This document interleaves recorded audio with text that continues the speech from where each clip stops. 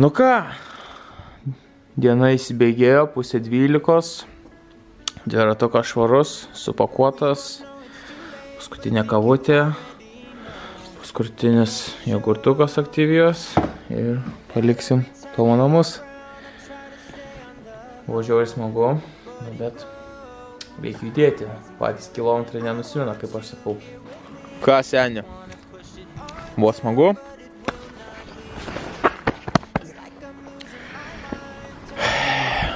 Užsuksi kažkada į Kauną. Nu, tai tu gal atvarysi žiemą, slidinėsim. Nu, jeigu sakai, va, už 20-10 eurų galima skristi pas tave, Nu, tu pigiai. su toru gal pačiužinėsim. Su to ir padarysim video. Nu, būtų gerai su to video, ne? Įkalti. Iki jūrų. Su... solo. Kiekvieną savo veikiai tordą su benzininiu pjūklu.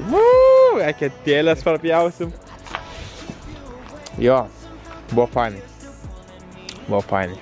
Nu kam. Gal neįsilis. Nors jau žadėjo saulę šiandien. Giedra, apskritai žadėjo. Turėjom 12 laipsnių. Tai laipsnių gal ir yra 12, bet man temperatūra nėra taip svarbu, man svarbiau, žinai, tas arba vėjas, arba kad tiesiog lietaus nebūtų. Gerai, seniai. Davai. Kito. It's like I'm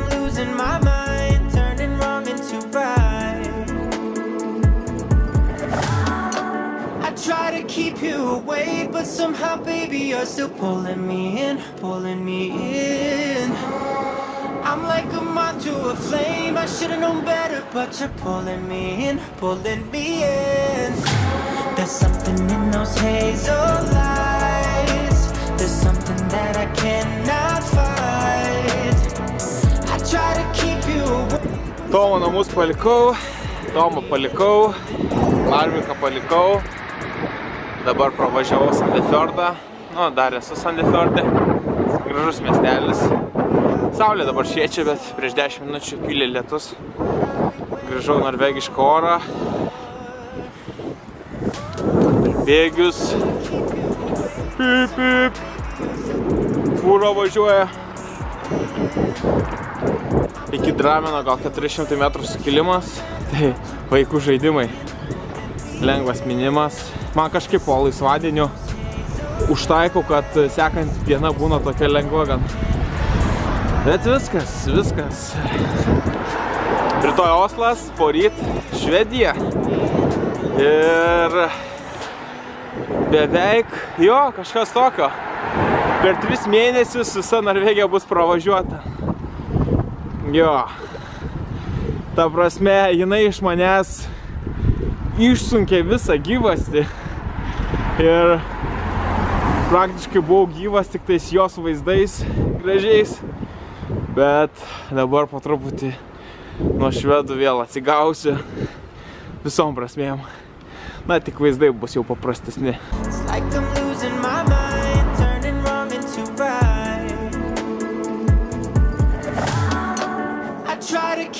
away, but somehow, baby, you're still pulling me in, pulling me in. I'm like a moth to a flame. I should've known better, but you're pulling me in, pulling me in. There's something in those hazel eyes.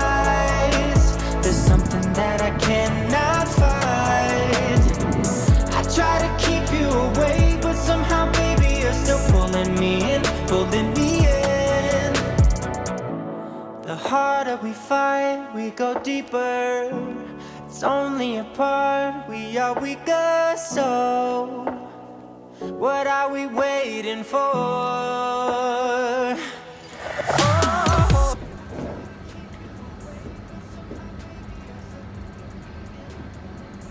Hey man. Hey, what, what up, bro? William! Yeah, what's up? uh, turn, I turn the camera. Do you see me? Yep, yeah, I see you. Whoa, how are you? Yeah, I'm good, man. I'm home. yeah, you're at home. What is this place? Uh, Holmstrad, so it's uh, two hours till uh, Drammen. And tomorrow Oslo. Okay. so you, you passed Oslo already, or you will? Yeah, I will tomorrow. Nice, man. Yeah. Say hi. Was the beginning of. Say hi to my followers. Nice. nice. That's cool, man. Okay, so Uh, how's it going? How, how is your trip going now? Yeah, so right now people voted to the roads which passing your home. Yeah, really? That's cool, man. yeah, so nice, okay. So direction is uh, from Oslo to Malmo, then Denmark, then Yep. then Hamburg in Germany. Yeah, that's Uh, what I did. Yeah. Uh, then Amsterdam, Mm-hmm. Haga, uh, Calais. I think it's called Calais. Yeah, I've been through Calais too. Yeah, and uh, from that uh, the ferry to England. Oh, yeah, really? You're going to England? Yeah, go, going to England, then London, then Okay. then from London to the small uh, town it calls Pool, I think, and from Pool another ferry to France. It's close to the northest point of France, and from Brest, maybe? B R E S T. I don't remember. anyway. yeah. Uh, from that to Omaha Beach, Okay. and then you're home. Oh, nice, man. From Uh, your- if you need, from you your- Austin in Calais, I know someone in Calais. Ah. And he hosted me when I went to Calais, so. Uh, but I think I, I will cross really fast. So Okay, that's up to you. uh, then from your home to Paris Okay. to Luxembourg. Uh, I think to Frankfurt and again to Hamburg. Berlin. And what about Berlin? Uh, from Hamburg then to Berlin. Okay, yeah, because yeah, Yeah, I uh, remember. this is the the donated uh, road, uh, which people donate me three thousand six hundred euros. cool, yeah, that's, That's insane. nice. That's insane. Yeah, so after Berlin to Poland by the Baltic Sea and Lithuania. Okay, and back to Lithuania again. Yeah, yeah. Ooh, So- many kilometers in overall? Uh, I think it would be somewhere between thirteen and fourteen thousand.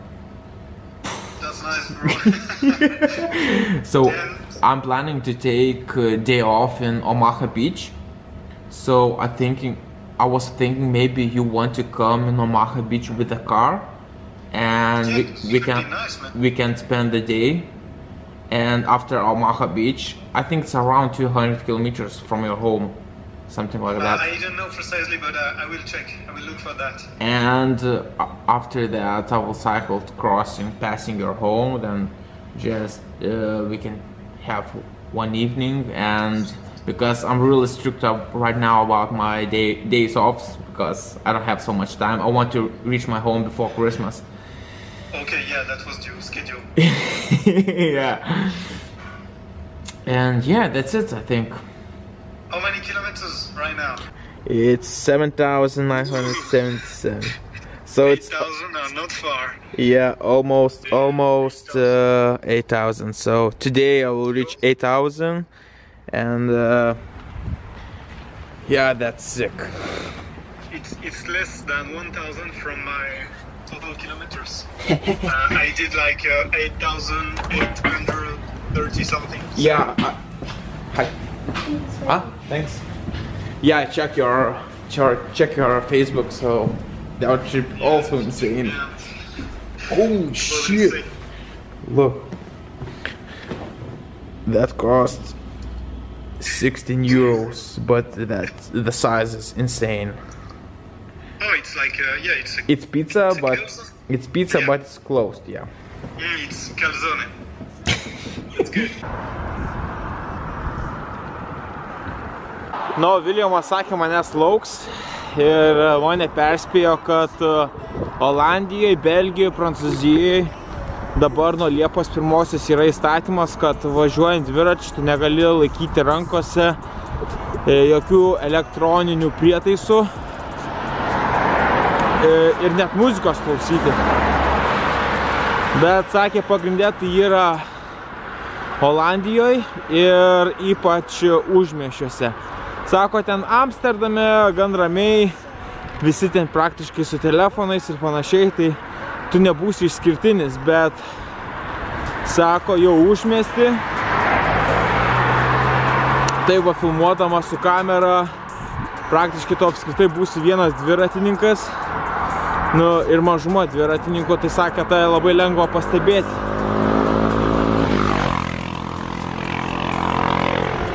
Tai jie asmeniškai pagavo irgi policiją, išrašė baudą apie 100 eurų, bet sakė, dar netėjo. Bet bet kokiu atveju minėjo, kad pasisaugok ir saugiausiai yra tu, kai tik sustoji su dviračiu, tada jau gali telefoną įsitraukti, filmuoti su kamerą ir panašiai. Bet kol vairuoji dviratį, kol važiuoji mini, sakė, baudelės po 90, po 100 eurų. Tai čia būtent daugiausiai Olandijoje. Nors sakė, kad tie patys įstatymai Prancūzijai ir Belgijoje, bet sakė, ten nelabai kam rūpi. Bet Olandijoje ten ar kažkoks vienas vaikas žuvo telefonu šnekėdamas, nu kažkas tokio įvyko, kad jie ten labai sunerimo ir va įvedė tokį įstatymą. Nu ir štai, 8 tūkstančiai. Dar vienas tūkstantis mano sąskaitoje. Panašu, kad uh, Norvegijoje bus numinęs kažkas virš 6000 km. Ir man dar apie valandėlę iki Dramino. Mažiau negu valandėlę. What's the use? I wish that I could unlearn all the things you would do. Na ir galiausiai pasiekiau Dramino centrą. Dabar jau tuo 9 vakaro. Gal net, ne, net nežinau kiek jau valandų. Bet žodžiu, tamsu, tikrai tamsu, bet uh, mane šiandien laukia dar vienas lietuvaitis, Eligijus. E, iš šiandien dirba. Nuo centro 4 km. Tai labai greitai turėčiau pasiekti jo ofisą, kaip jisai sakė. Ir tada lėksim kažkur pavalgyti. Bet prieš tai noriu sumontuoti vlogą, nes prie video medžiagos dar nesidėjau. O Draminą tai labai šiltai prisimenu, kai buvo prieš keturis metus. Labai fainas uostamiestis, gražus, gražus uostamiestis ant kalno. Bet, na, aišku, biški gaila, kad aš jį pasiekiau naktį. Bet iš kitos pusės naktį jis labai gražiai žyba. Sakė, lygiai jūs varysim hamburgerių valgyti. Šiandien jau bus nuvažiuota virš 100 km. Visai neblogai, kaip po 3 dienų polsio vėl į ritmą šaunu. Sveikas. Užsivėlinau biški. Nu. Labas, malonu. Malonu. Nu, kaip jauties? Gerai, easy diena, viskas, kalniukai baigėsi. Baigėsi, atostogos. Malarvik, tai čia visai nekalbėjau. Nuo Larviko, bet taip, va tai va, A, a. pasižiūrėjau kiek čia šimtas kilų, ką čia sugilau, 600 maksimum. mano 788. kalba.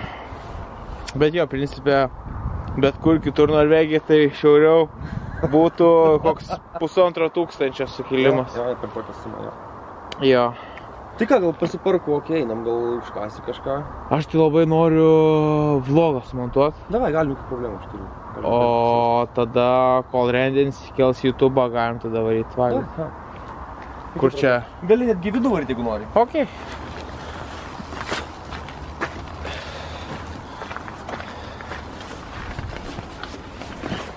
O, šilta. Jo, jo, jo. Paruoš. Nors ir laukia, šalta.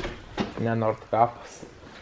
Nuo pat, nuo kelionės pradžios. Nuo pradžios? Jo, aš galvoju, žinai, kaip, kaip nors prigausiu, žinai, jisai. Ja. Kitur galvoju, jeigu Per Drameną pusę nevažiuos ir nestosi, galvoju, kitoj pusė. pa- Ne, Dravinas buvo jau senai planuose. Bet tu buvai sakęs, kad žinai, kad nestosi neprivalai Jo, stoti. planas buvo toks, bet matai, tą ambasadą, Mm. čia taip gavosi, nu aš galėjau kalt per vieną dieną iš Larviko į Oslą. Išeina.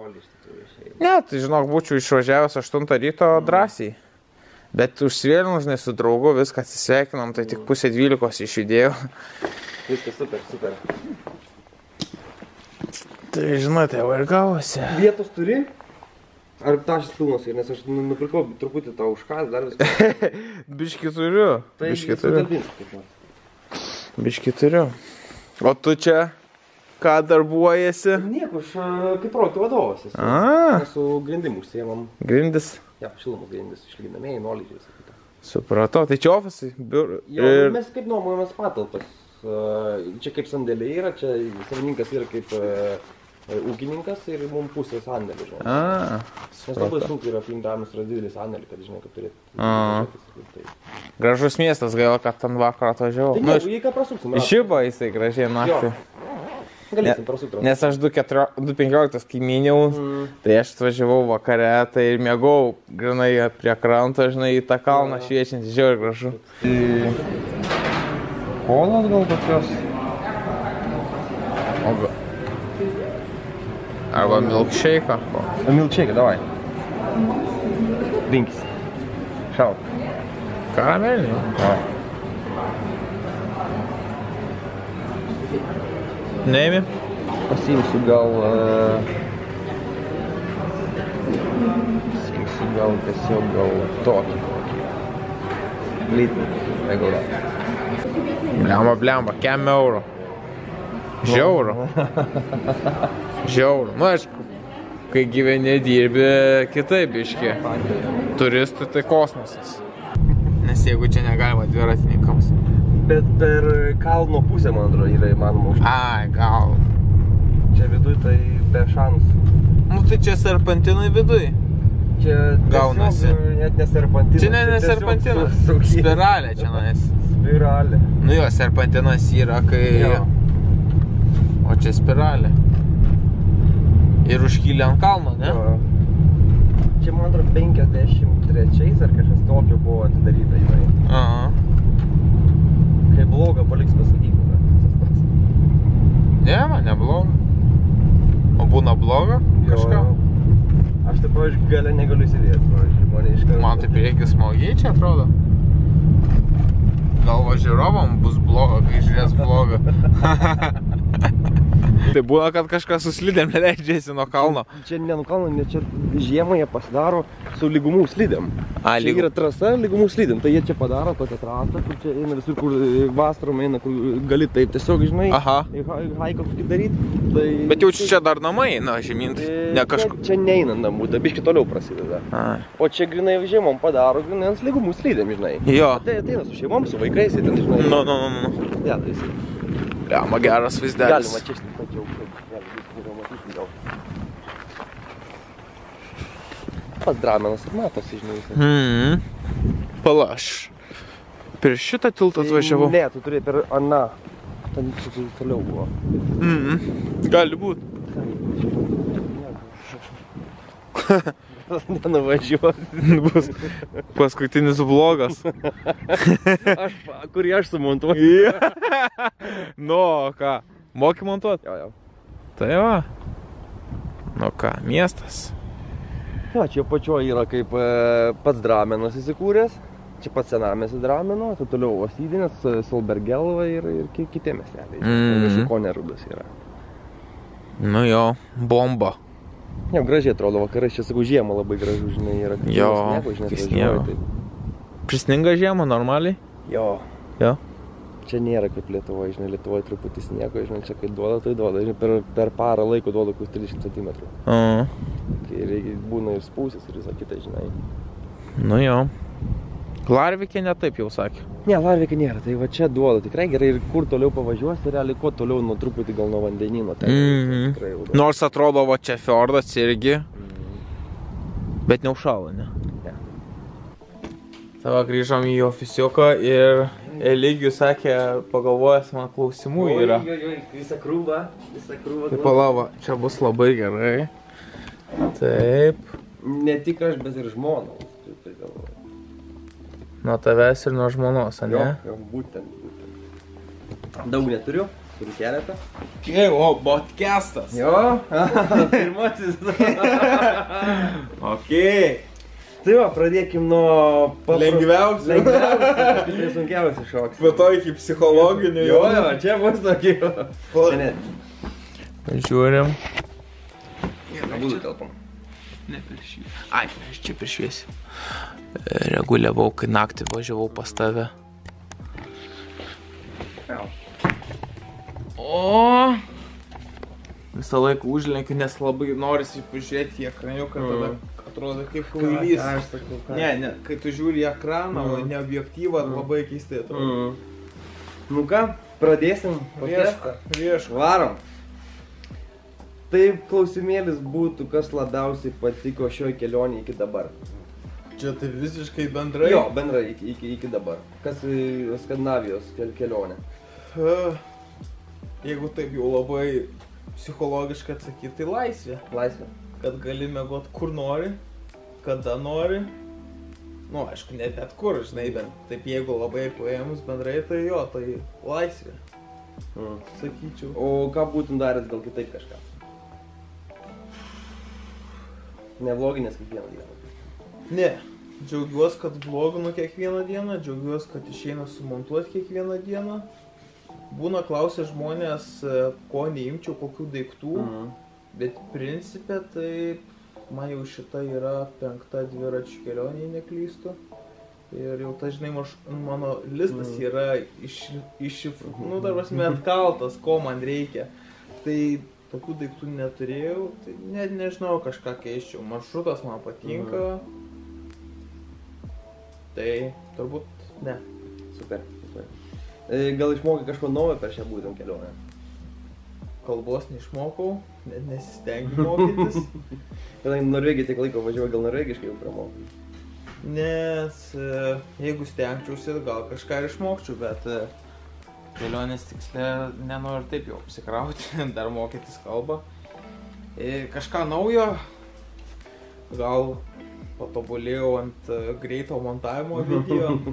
Vis tiek kiekvieną dieną kepuošiuos, tai ant to tobulėjau turbūt. E, ko- ko- Koks labiausiai įsiminė žmogus per šią kelionę? Kažkokia sutikta persona, kuri tau tikrai palėtė tave. E, Iš visų kas tu kai Lemba, sutikau daug žmonių, Visi Ką- matėm. ką čia tokį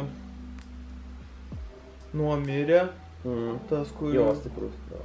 kur e, 362 kartus, Pirmyn atrodo, jo pirmyn atgal užmynė į, į trolių kelią. Pala, dar buvo, tikrai buvo tų žmonių, bet e, tas pats Viljamas prancūzas, jo pirmoji kelionė dviračiu. Pirmoji kelionė dviračiu 8800 km. Va tai va. Va, išvažiuoja dviračiu. Ten kiti pradeda pirmasis kelionės, 10 km.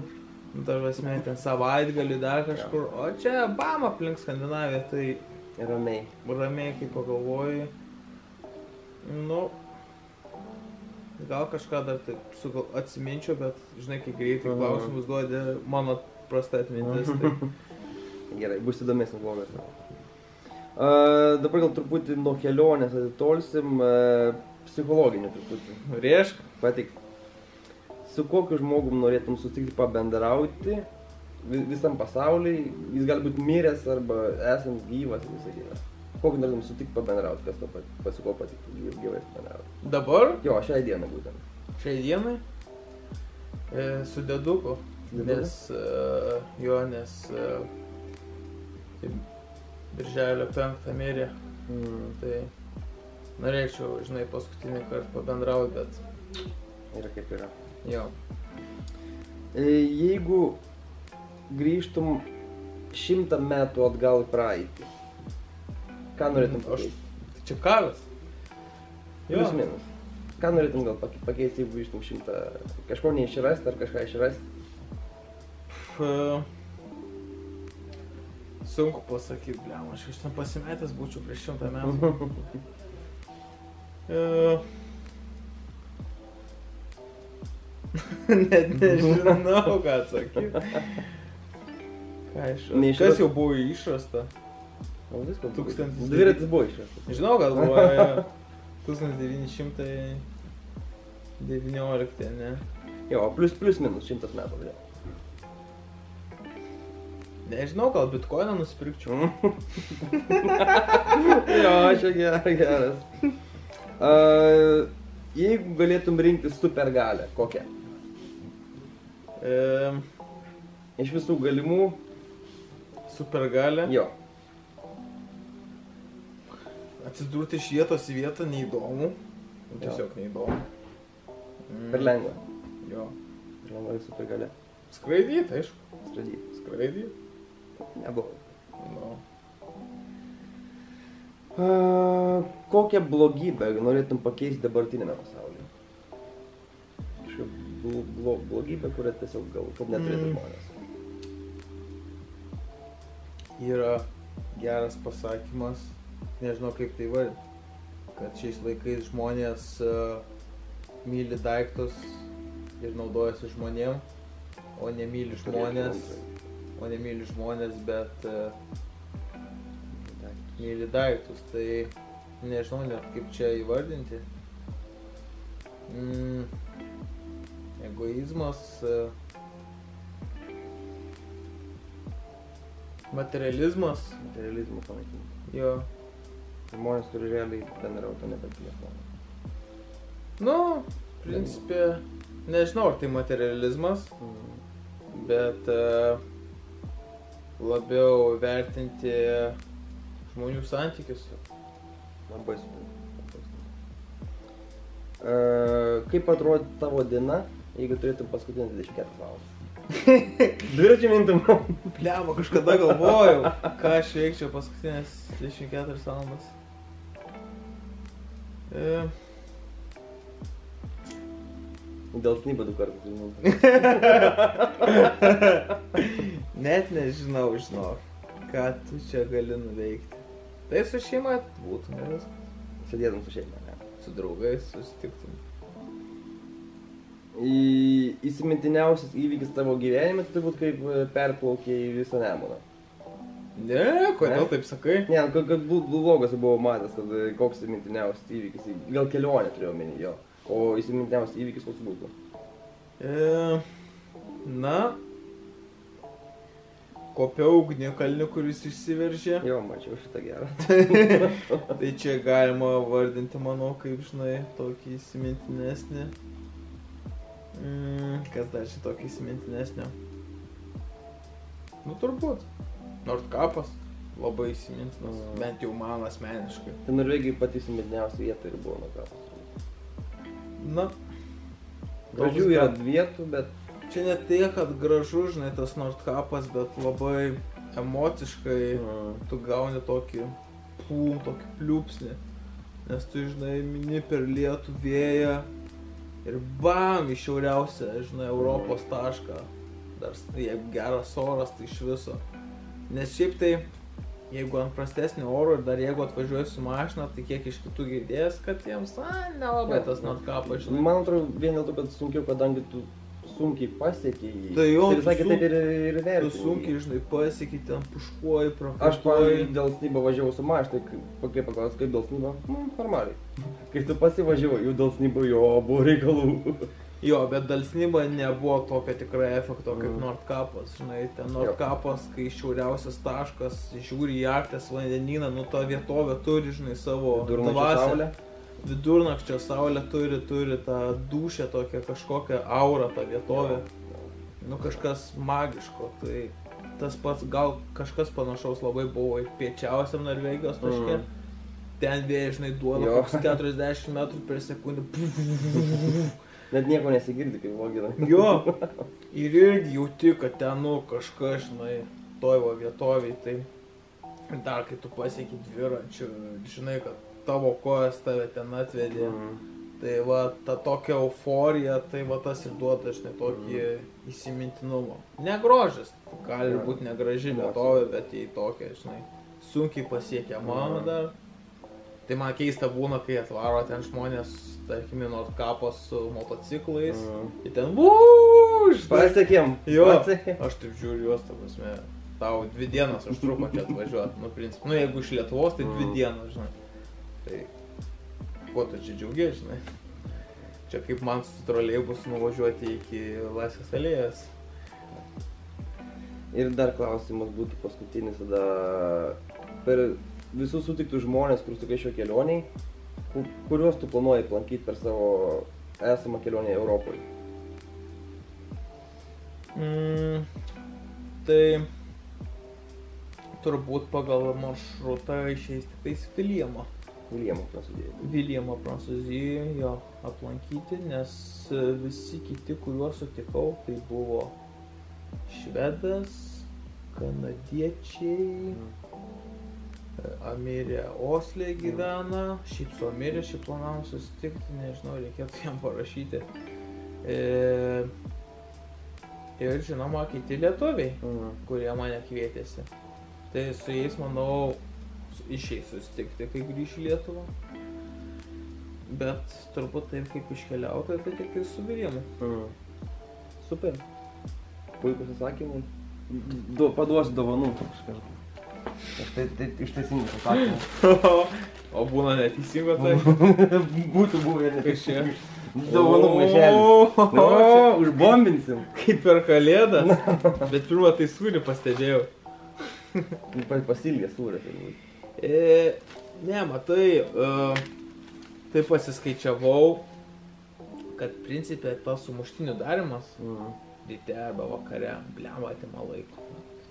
Žinai, turi, atrodo, aš čia sumeti, sumeti, bet vis tiek tas batonas, tas tepliojimas arba ten tas sūris, agurko pjaustimas, e, ką aš dar ten Viskas laiką remia. saliami, žinai, dar pasidėlioju.